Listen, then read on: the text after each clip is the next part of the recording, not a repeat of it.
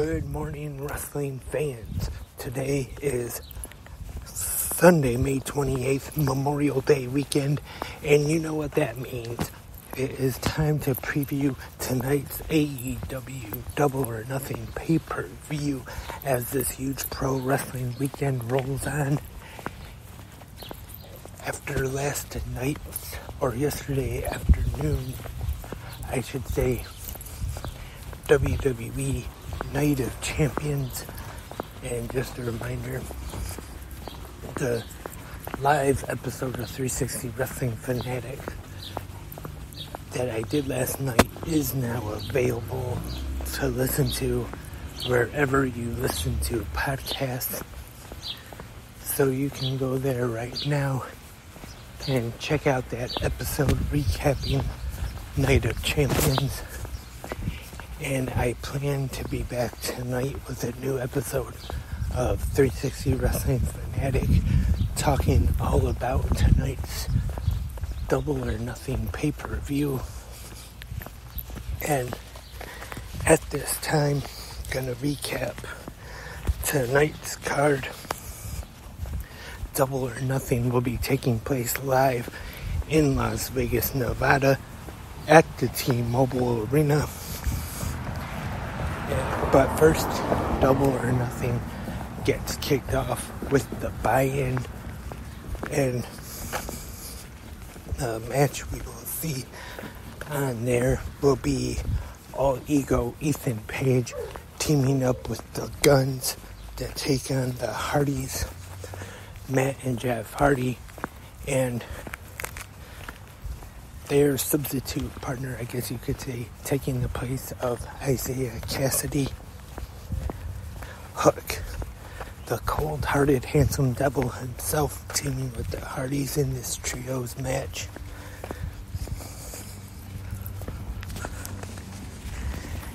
And other matches on the card the AEW World Tag Team Championships are on the line in an open house rules match. The House of Black, Malachi Black, Brody King, and Buddy Matthews defending against a Mystery Trios team, which I wouldn't be surprised if it's the acclaimed and Billy Gunn.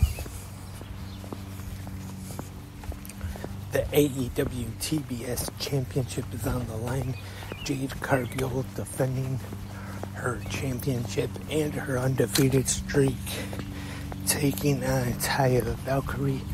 This time, though, Taya is not banned from using the road to Valhalla, or as Jade Cargill calls it, jaded.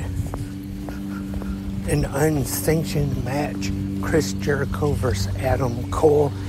And as we found out Wednesday night on Dynamite, that the suicidal, homicidal, genocidal Sabu will be serving as the enforcer for this match, which was kind of confusing at first because when they brought him out, they said Sabu was going to be in the corner of Adam Cole, but when they showed the graphic, and then when they advertise the match now, they're calling Sabu the special guest enforcer for this match. We have anarchy in the arena tonight. The Blackpool Combat Club, Bryan Danielson, Jon Moxley, and the Ring of Honor World Champion Claudio Castagnoli, along with Wheeler Yuta taking on the Elite, Kenny Omega, Hangman Adam Page, and the Young Bucks man Nick Jackson. This one, just like the last Anarchy in the Arena match, I'm sure will probably be mostly brawling all over the arena. Lots of weapons, lots of blood in this one. They actually have already kind of advertised this one as being the most violent match in AEW history. If it is, uh, that remains to be seen. but I wouldn't be surprised with the guys that are in this match, especially Jon Moxley. You know how he likes to have color in his matches. If I mean, be surprised if we see some barbed wire, maybe some thumbtacks, broken glass, the staple gun, and you never know. Maybe somebody in that match saw Impact Wrestling's Under Siege Friday night where Steve Maclin tried to staple the mouth of PCO shut. So you never know what we're going to see in that match. Could be unpredictable.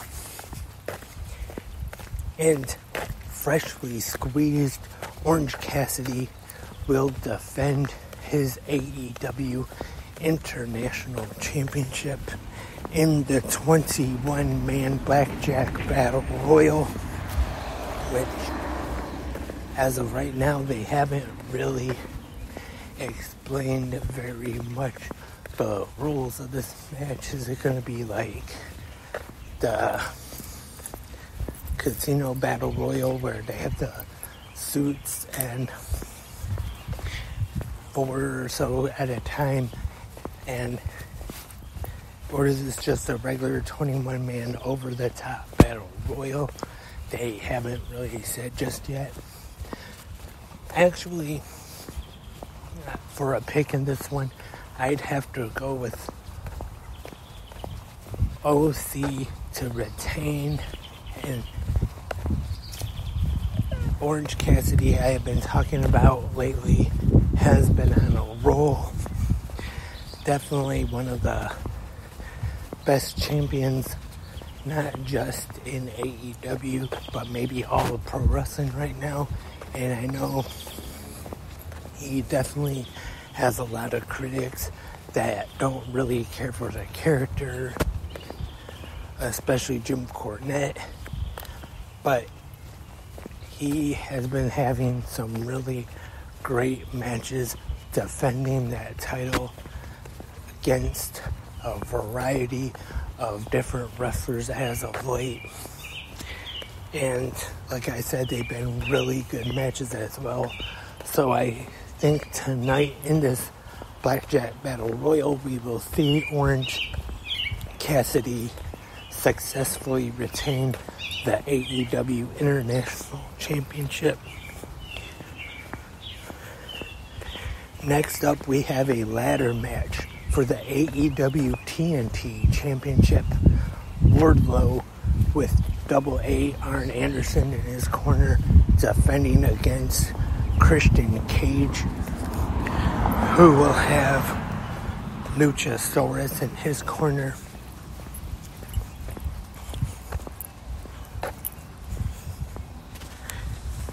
And next up, the AEW World Tag Team Championships. I think I now that I think about it, I think I made a mistake earlier and called the Trios Championships the tag team titles, but the House of Black are defending the Trios Championships. And in this match for the AEW World Tag Team Championships, FTR, Dax Harwood, and Cash Wheeler will be defending against the team of the King of the Mountain, Jeff Jarrett, and Jay Lethal and they will have Jeff's wife Karen Jarrett, Sanjay Dutt, and Satnam Singh in their corner, and Mark Briscoe will be the special referee for this match. Last Wednesday night on Dynamite, he slapped uh, everybody involved except for Jay Lethal and uh, Cash Wheeler. I don't think he slapped him, but as of right now, looks like he'll be calling it right down the middle fairly. I see FTR retaining in this one, to be honest, but you never know. They could give Jeff Jarrett and Jay Lethal a run with the championships, but I think it will be FTR retaining. And in the main event of Double or Nothing tonight, the AEW World Tag or the AEW World Heavyweight Championship will be on the line as the four pillars collide. The AEW World Champion Maxwell Jacob Friedman MJF defends against Sammy Guevara, Darby Allin, and Jungle Boy Jack Perry. This one, I think, definitely has the potential of being a great main event tonight. Like I said, the four pillars of AEW going at it in one match. And I definitely would have no problem seeing either Sammy Guevara, Darby Allin, or Jungle Boy win this one and get a run as AEW World Champion. But I'd have to say that my pick for this one is MJF retaining and still being AEW World Champion after Double or Nothing tonight. Like I said, I definitely wouldn't mind the other three, one of the other three, I should say, winning this four way tonight, become the new AEW World Champion. But I just see MJF keeping the title. He might